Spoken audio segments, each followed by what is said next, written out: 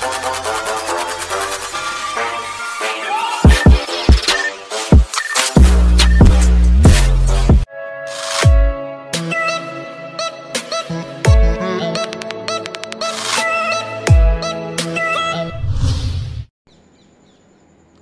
साथियों, स्वागत है आप सभी का हमारे यूट्यूब चैनल में।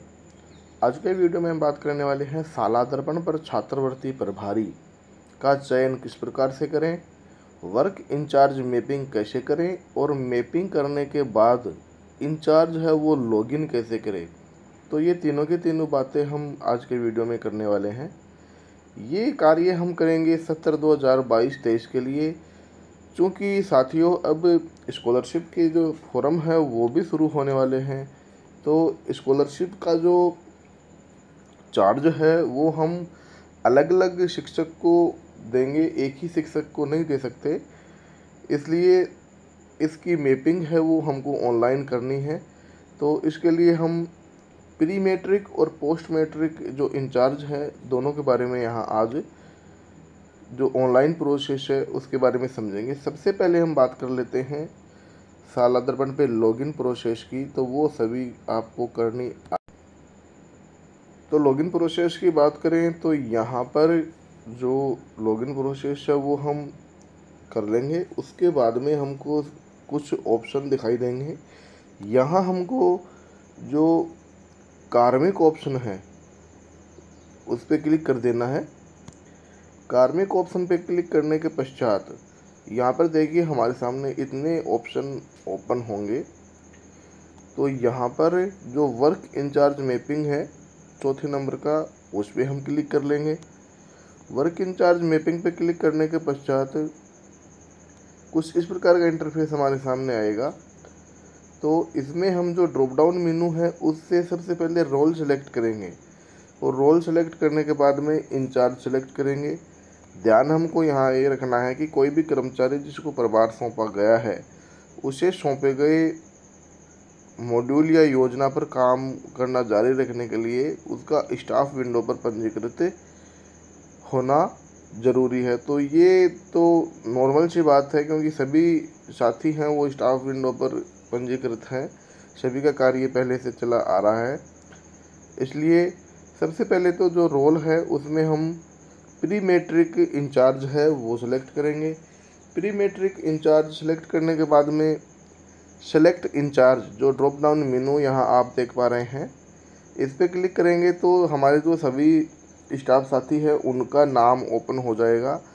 उनमें हम जिसको भी सिलेक्ट करना चाहें प्रभार देना चाहें, उसको ऐड करें और साथ में ही जो हमारा नीचे ऐड का बटन है, उसको दबाएँ तो वो साथी ऐड हो जाएँगे उसी परिवार के लिए। उसके बाद में देखते हैं कि जो पोस्ट मैट्रिक छात्रवृत्ति है, उसके लिए इंचार्ज तो वही प्रोसेस करनी है।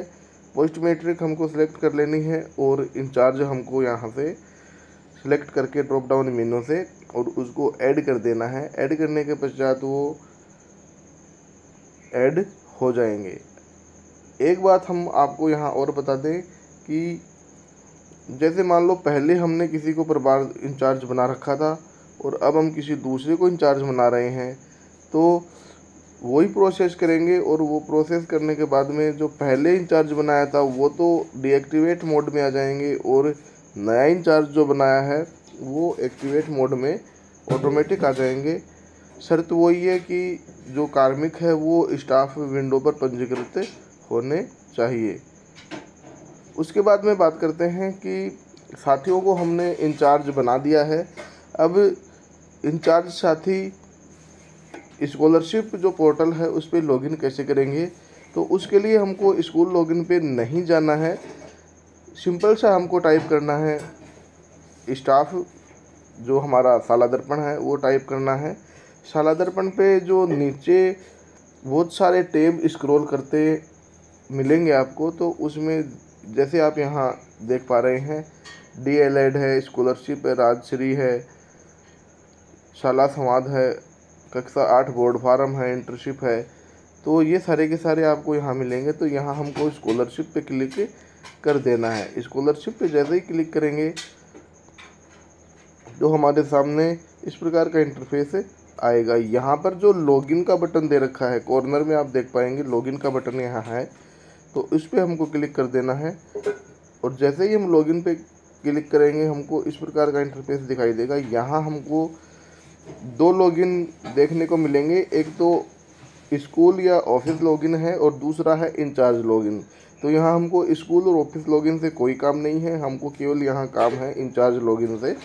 तो यहाँ इंचार्ज लॉगिन में जो स्टाफ आईडी है, वो हम यहाँ भर देंगे। N I C school code जो हमारा छः अंक का होता है, वो हम यहाँ भर देंगे। और पासवर्ड अब साथियों, यहाँ पासवर्ड हम कौन से डालेंगे? तो पासवर्ड यहाँ जिस भी साथी को हमने इंचार्ज बनाया है, उस साथी के जो स्टाफ आईडी के पासवर्ड है, वो हम यहाँ डालेंगे और कैप्चा कोड डाल के लॉगिन कर लेंगे। तो वो साथी जो स्कॉलरशिप पोर्टल है, उस पर लॉगिन हो जाएँगे। साथियों, ये थी सारी की सारी प्रक्रिया जो स्कॉलरशिप है, उसके लिए इंचार्ज हम कैसे बनाएँ?